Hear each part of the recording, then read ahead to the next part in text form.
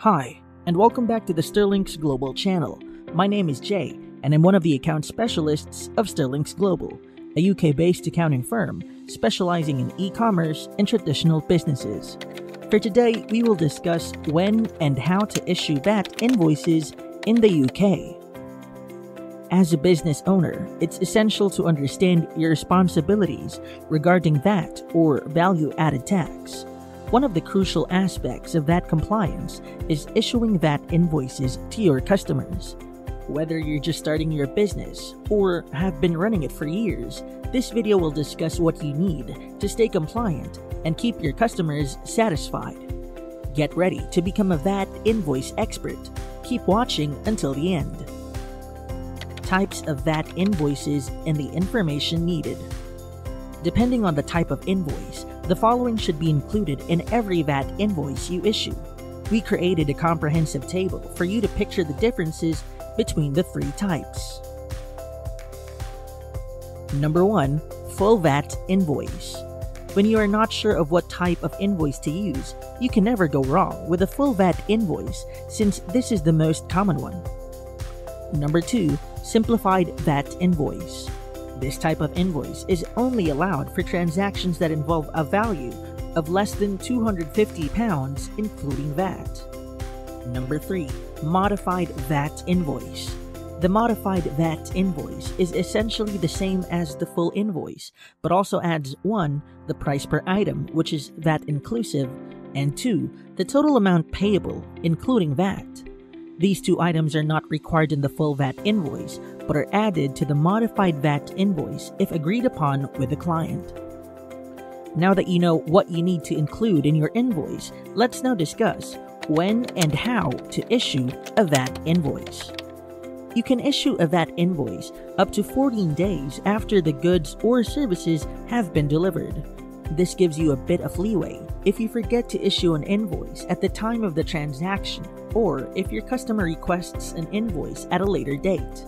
As to the way of issuance, there are different methods for issuing VAT invoices in the UK, including paper and electronic invoices.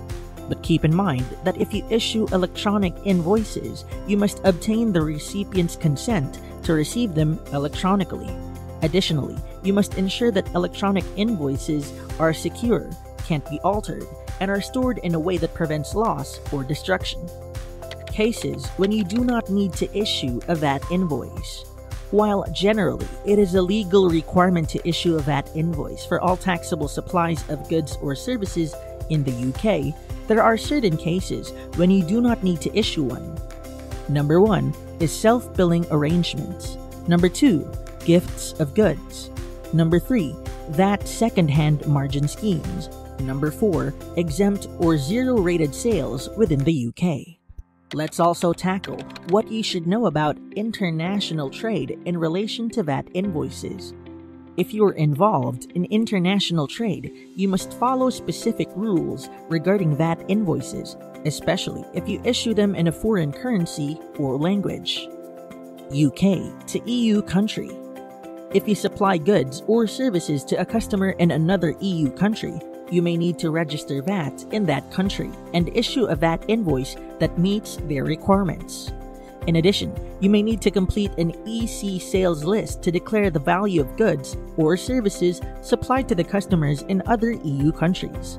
However, after Brexit, businesses based in Great Britain, England, Scotland, and Wales are not required to charge VAT on services they sell to EU countries. Therefore, VAT invoices consisting of VAT amounts are not required to be issued to such customers. On the other hand, Northern Ireland based businesses may continue charging VAT similar to the pre Brexit era since they are still part of the EU regulatory frameworks and may follow the EU VAT rules. How about UK to non EU country? If you supply goods or services to a customer outside the EU, you won't need to charge VAT on the supply, but you may still need to issue an invoice that meets their requirements. Now let's discuss VAT invoice in a foreign language. You are allowed to issue VAT invoices in a foreign language if you choose to do so. This can be useful when dealing with customers who are non English speakers. However, if the HM Revenues and Customs, or HMRC, requires an English translation of the invoice, you must provide it within 30 days of the request. Next one is VAT invoice in a foreign currency.